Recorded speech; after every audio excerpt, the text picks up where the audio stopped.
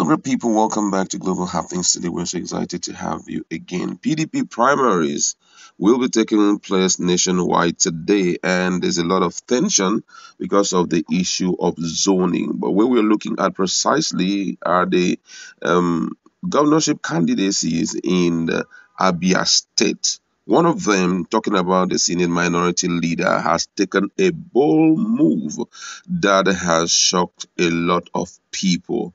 And he has also given reason why he had made the decision he just made some few hours ago. But before we give you full details of uh, Abaribe's move and the reason why he had to take that move, we'd like to encourage you to please subscribe to our channel by clicking on the red subscribe button and also the bell icon so that you can get notification anytime we publish our videos. Now, according to the news, the Senate minority leader and a frontline governorship aspirant of the ruling People Democratic Party PDP in Abia State, Senator Enyinnaya Abaribe, has formally withdrawn from the PDP governorship primary scheduled for today, Wednesday. Abaribe, who disclosed his withdrawal from the exercise in a press statement, cited use of imaginary delegate lists and lack of transparency as reasons for his actions. Similarly, another leadership uh, another leading governorship aspirant from Abia North and former state chairman of PDP, Senator Nwaka, has also said he would not participate in the primaries, which he dismissed as a charade. Nwaka expressed disappointment over non-compliance with the due process and the extant laws in the conduct of the three-man delegate Congress which he insisted never held.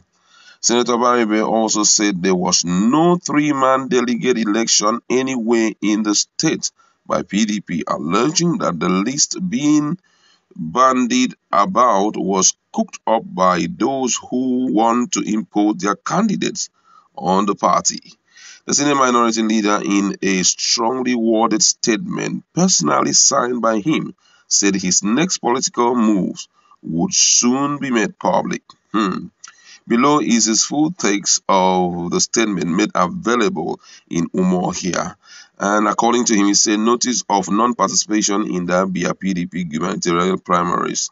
The last couple of weeks has been tortuous as we battle hard to navigate our party, the People Democratic Party, PDP, away from a self-destructive path. The essence was to create an unfettered democratic space and a level playing field for all aspirants vying for all elective offices in the state to participate equally in the primary elections. That was not the case, and of course, what we are witnessing is a shambolic process driven by a procure court injunctions.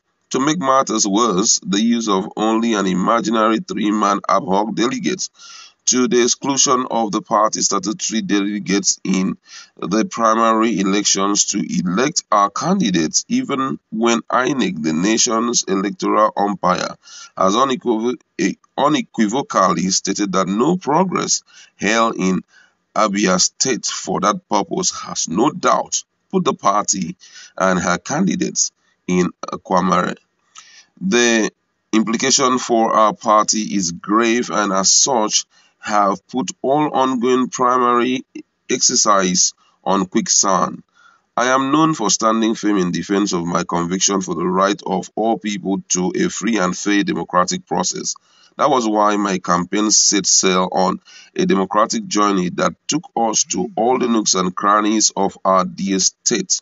We cover all the local governments and we could see the enthusiasm on the face of our people who are desirous of change to a progressive government with a human face.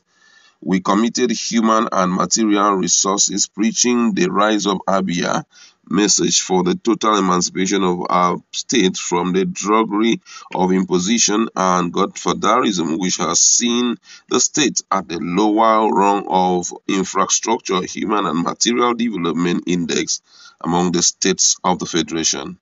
Our people were and are indeed fired up for a new lease of life that will be brought about by a people's government. There was no doubt that Abians are tired of being subjected to being the butt of jokes and ridicule from their peers, particularly those from the contagious states that are hitherto far behind Abia State in the development index in the time past. That was the narrative we sought to change when the campaign took off. Unfortunately, the ugly development ignited by a rapacious ambitions to maintain the wicked governance status, status quo of imposition and godfatherism have aborted this quest in PDP. Accordingly, the Senator Enyinnaya Harcourt Abaribe will not be part of this charade. I am therefore withdrawing from the exercise, which means that I will not be part of the PDP governorship primary election that holds in Abia State on Wednesday, 25th day of May 2022, as doing so would have amounted to endorsement of as illegality that is already being challenged in the courts. I therefore ask all our people, our teeming supporters and Devos to remain calm, keep the faith, and wait for the new direction, which will be announced very soon. What is important is that the campaign to liberate Abia State would surely assume a new dimension. The state is now. Thank you all, always being there for me and the campaign. Together, we shall try triumph. Those were the words of Enyinnaya Abaribe. So he is no more among those running for governorship in under the platform of People Democratic Party. According to him, what they have seen as delegates are actually not what was expected, which already is a pointer to the fact that Godfatherism has taken over PDP and uh, no need to waste time and waste resources going out to call campaign or going out to do anything because he's very sure that he will lose at the end of the day. And you know, that will add to his political career that at a time there was a certain very renowned Igbo man by name Ninaya Baribe who contested for governorship in his own state and couldn't win anything and you know that can kind of reduce your pedigree and all of that i think that's why he decided not to go in for it again. But you know if you have been following the trend of this politic, polit, eh, particular political wahaha you realize that Inaya Baribe had already been told the ideal truth with which is the issue of power rotation.